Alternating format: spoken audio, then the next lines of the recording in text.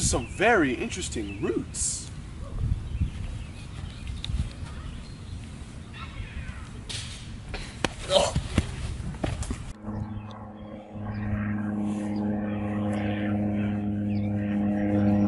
I just figured out a method of how to find the roots of an equation.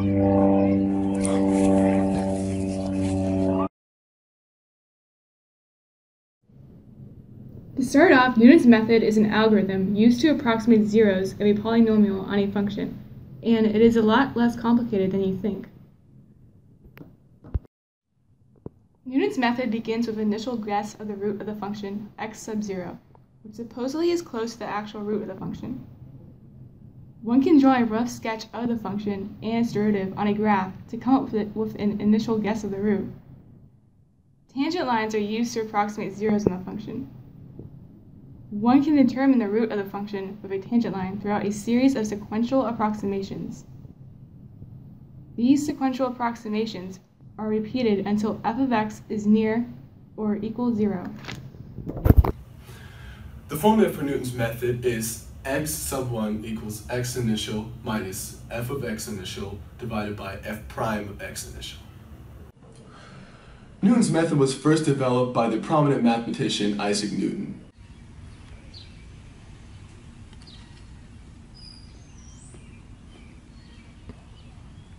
But its method varies from the contemporary method because it pertains to polynomials. Because nothing's perfect in the world, the Newton's method may not always work. It fails when 1. The function has no roots 2. The function has more than one root. In this case, you should focus on one root at a time rather than both of them. 3. If the estimated root is at a location in which a horizontal tangent line is evident and 4. The estimated roots fall back and forth. In the year 1690, Joseph Raphson revolutionized Newton's method by incorporating sequential approximations.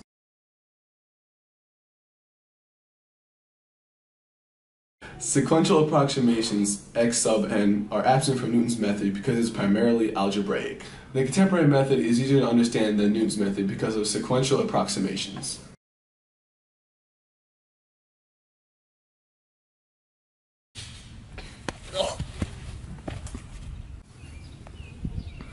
Okay, stop. stop it. In the year 1690, Joseph Raphson revolutionized Newton's method. Oh, by incorporating. All right. In the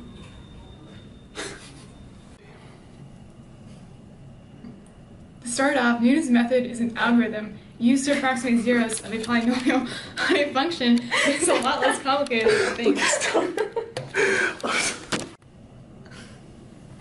Oh, oh my god.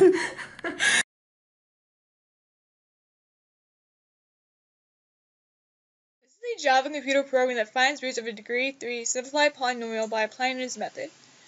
So as you see right here, these prompt the user for input. I'll show you right now.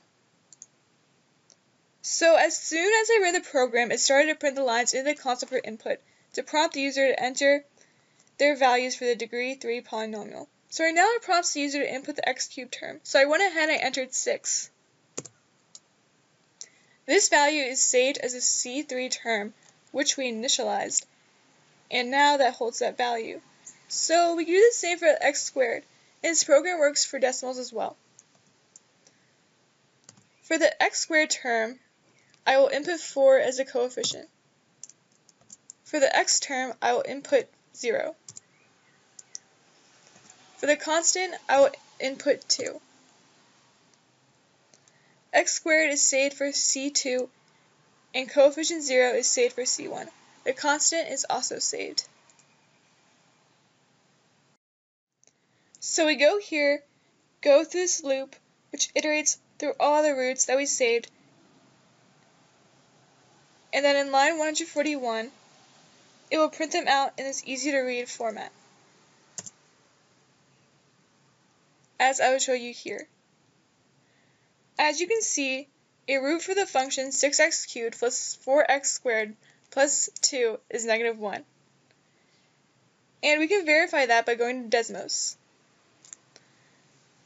As you can see in the graph, the root of this function is clearly negative 1. So you can see this program works. You can see that it's very accurate and on the money because of how small our incrementer was, which you can see in line 105. If there are no roots found, it runs this statement and prints out there are no roots to the user in line 147. As you can see, a computer program is a good application of Newton's method.